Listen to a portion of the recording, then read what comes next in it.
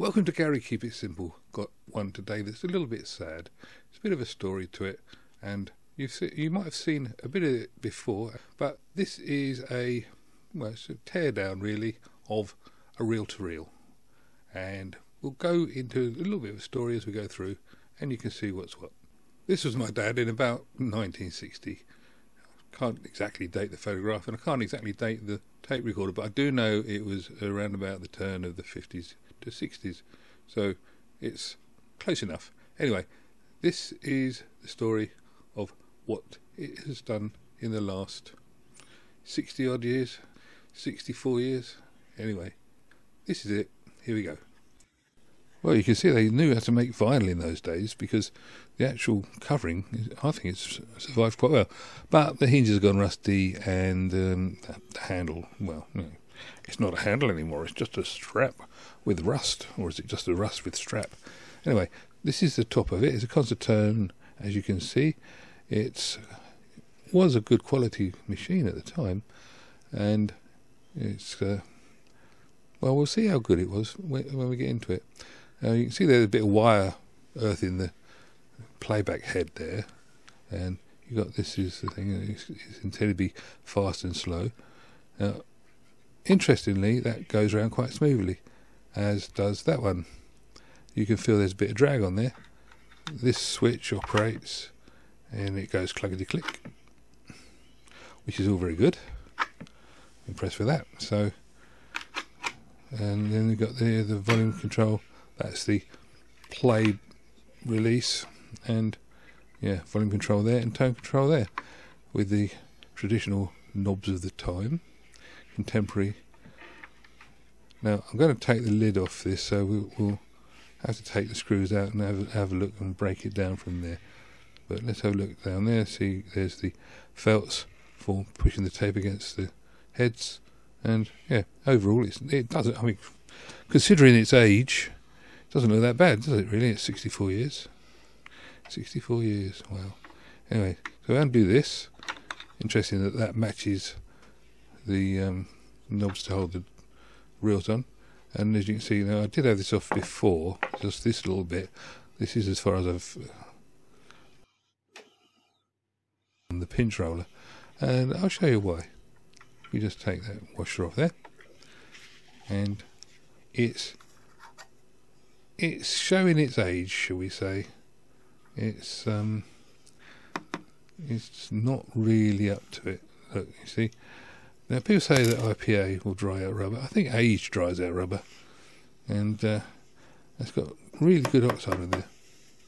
And you can see it is as hard as a rock. It has petrified, and that is a perennial problem. I do apologise for the light reflection, but I wanted to get the actual picture to be as, as clean as possible. So uh, I, I'll try and sort that out a little bit later. But anyway, we take those little bits off there just to see what's what. They do unscrew. And you've got a nice aluminium spindle. And they're as true as the day they were manufactured, which is yeah, a long time ago, as we've already said. So, let's see where we go from here. Got to take the knobs off because nothing's going to happen with the knobs on. So, get myself a screwdriver. You can see on here, there's a record head, playback head, and there's the felts and tone control.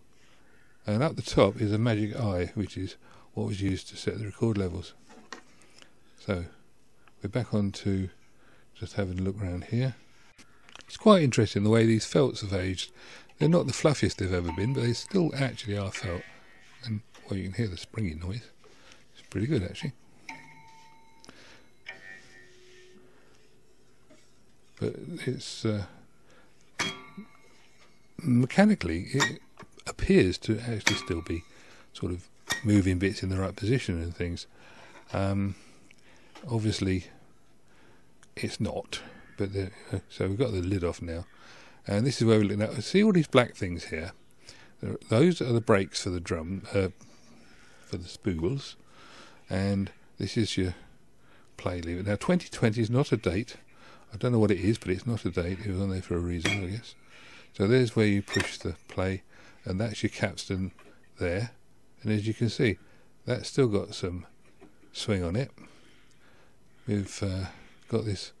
Sometimes you look at something, 19, you know, 64 years old, and that switch there, not the one I'm playing with, but the orange one, that looks like it could have been fitted yesterday. Well, I can assure you it wasn't. This hasn't been out. This hasn't really been seen for the last 40 years. Well, I haven't seen it for 40 years. Put it that way, because um, I haven't seen it since I left home, and it was in the shed uh, or the garage when I left home. So, yeah, I mean, it, it says for the quality and skill of the engineers that these metal bits still work, albeit a little bit stiff, but you know they physically do work. Now this was interesting. I thought I'd undo that. So this is the erase head, and you can see here it looks like a diagram of an erase head. You've got a magnetic core, soft iron core, and you've got coils around it. And that is all there is to it. It is literally the way we draw them. And next to it, we've got the record head. So that one, we'll undo the screw on there.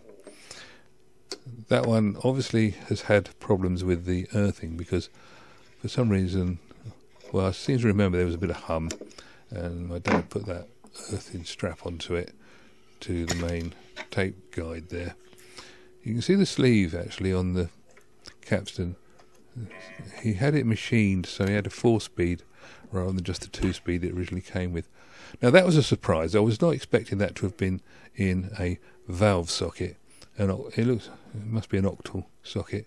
So that was a bit of a surprise. So I thought, well, I'll have a go at this one, see if that one comes out. And uh, well, yeah, you'll, you'll have to wait and see. Yep, that one's in an octal socket as well. So you can get a close up here. You can see exactly how it's made, and it's exactly what you. Would, it's a transformer, effectively. It's a transformer. Absolutely amazing. It would have been nice if it had been clean, but then you know, I didn't know it existed, and uh, this is a as it happens. So this is as it happens. I'm going to see if I can get the lid off the other one now. Because the other one still got a screw in it. The other one is the record head. So it's going to be slightly different. Not a lot but slightly different. See if we can get it apart. And uh, the simple answer is yes I could get it apart and here it is it looks almost identical to the other one you'd have to go by the electrical properties to know exactly what the differences were it's got um, four coils on it, so that's uh, probably re- relevant. And yeah, so here we go. Now this is actually putting it on its side, and this is the first time I've ever seen inside here. I knew of it, but I've never seen in it. And uh, yeah, I think it's had some things living in it. Not totally sure, but it looks like there have been things living in it. And um, there's nothing living in it now. Now this little bit here, that was a bit of foam rubber. And like all the other foamy bits and plastic bits, it has petrified. Absolutely amazing. So uh, that's the main reason why I haven't bothered trying to do anything with this because there are parts there that I just cannot get. And uh, I did offer this to anybody who wanted it, and nobody's come forward. So it's going in the recycling, unfortunately. But I thought it was worth having a look and see what was what before we did that. Now that twisted cable there, not that one, that one, that's the speed control switch, which, as I say, was a retro mod. And um, you can see down there, there's uh, there's there's been some some habitation there's been a spider, and I don't know if he's, I don't think he's still alive. It's probably just a, a husk of a spider. And now, if we're looking at that's where the storage was. So the speaker there, a little elliptical speaker, and lots of um, white stuff, for want of a better description. It is really, yeah, it's um, it's as it is. So this is a true life exploration of an abandoned thing. Welcome to Abandoned. can't do the accent. Gave it a try. So looking here, I've actually cut the wires now so we can get to it, and you can see not much in the way of printed circuit boards. You've got uh, those are the switches there. Call playback switch. That's not like you see on a cassette deck, is it? There's a speaker cable, and um, anybody got any idea what these yellow things are that are on there? It says to be in contact with the chassis, but I've no idea what they are.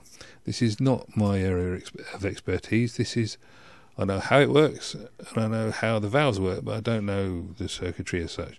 And these components, I mean, you've got wooden bits in there. Look, now that's the back end of the Magic Eye, which is basically a valve of some kind. It's a bit like a CRT, I guess. And you've got the transforms. Now, what I was surprised about here is that this is a motor. This is the capstan motor. And I was looking for a belt, and there isn't one. But what there is is an idler. So the capstan is driven. This big flywheel is being driven by an idler from the motor, and it's you can see there it's mounted bearings and things. It's all it's, it's a bit rusty, which is another good reason for it to be a problem, of course.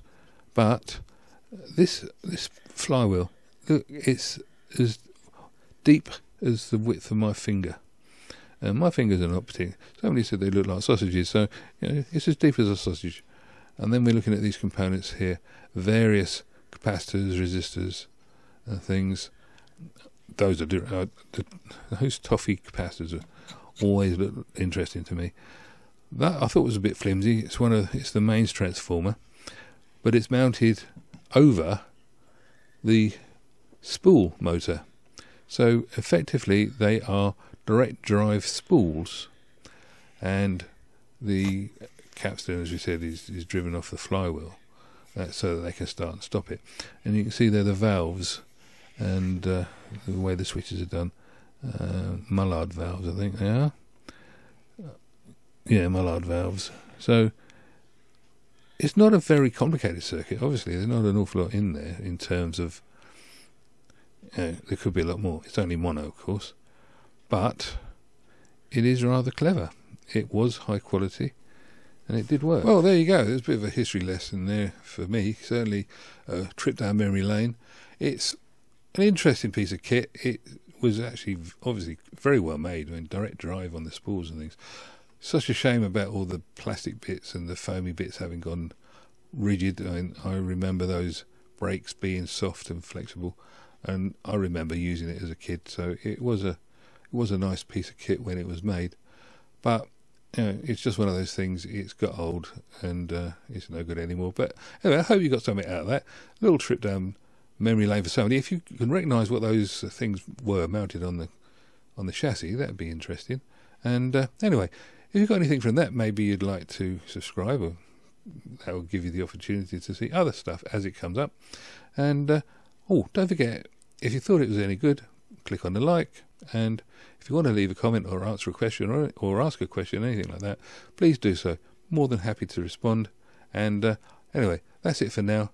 Catch you another time. Thanks for watching. Bye bye.